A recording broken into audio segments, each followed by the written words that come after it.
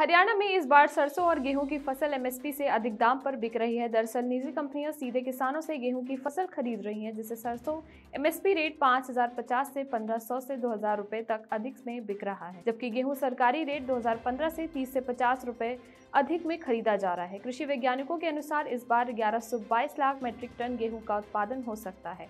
इसमें से 90 lakh metric ton मंडियों में आ सकता है। वहीं सरसों का रकबा सात लाख हेक्टेयर हो चुका है। नमस्कार, मैं स्तुति शुक्ला कृषि न्यूज़ में आप सभी का स्वागत है। आइए नज़र डालते हैं आज की कृषि से जुड़ी सबसे बड़ी खबरों पर। मुख्यमंत्री शिवराज सिंह चौहान ने मुख्यमंत्री बिजली बिलों से राहत योजना का शुभारंभ किया। साथ ही कहा कि कोविड काल की अवधि के प्रदेश में अट्ठासी लाख बिजली उपभोक्ताओं का 31 अगस्त 2020 तक का चौसठ करोड़ रुपए से अधिक से बिजली बिल माफ़ कर दिया जाएगा। जिसे राज्य सरकार भरेगी तो वहीं जिला प्रशासन एवं प्रतिनिधि अपने अपने क्षेत्रों में बिजली बिल माफ़ी के लिए शिविर लगाकर पात्र हितधारकों को बिजली बिलों से राहत योजना का लाभ दें और उन्हें बिजली बिल माफ़ी का प्रमाण पत्र दिलाएँ।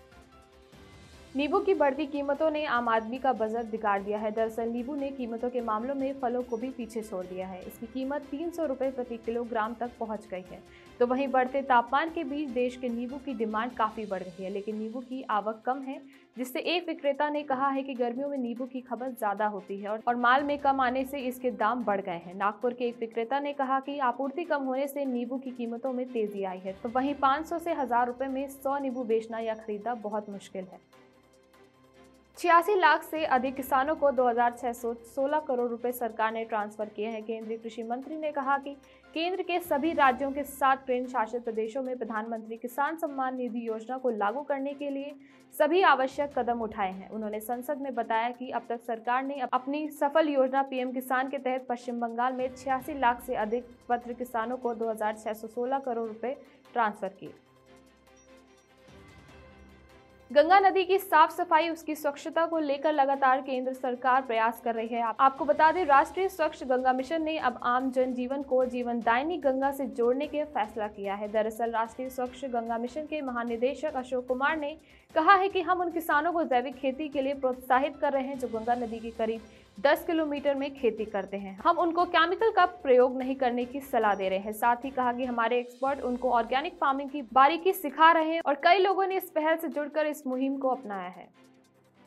मध्य प्रदेश के इंदौर शहर में कृषि कॉलेज ग्राउंड में Brahmani event and exhibition private limited द्वारा आयोजित चौथे फार्म टेक एशिया 2022 का आयोजन हो चुका है। आपको बता दें, कृषि जागरण की टीम भी वहाँ मौजूद रही।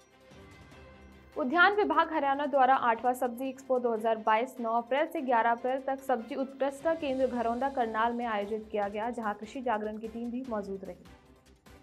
राजधानी दिल्ली पिछले कई दिनों लू की चपेट में है तो वहीं कल देर रात आए आंकड़ों के मुताबिक दिल्ली के सफदरगंज में अधिकतम तापमान के सामान्य में 60 डिग्री सेल्सियस, अधिक इकतालीस दशमलव छह डिग्री सेल्सियस पहुँच गया है। तो वहीं अगले 24 घंटों के दौरान राजस्थान के कई हिस्सों में भीषण लू तथा बाकी हिस्सों में लू की स्थिति बनी रहने की संभावना। है इसी तरीके की अन्य खबरों के लिए जुड़े रहिए कृषि जागरण के साथ। धन्यवाद।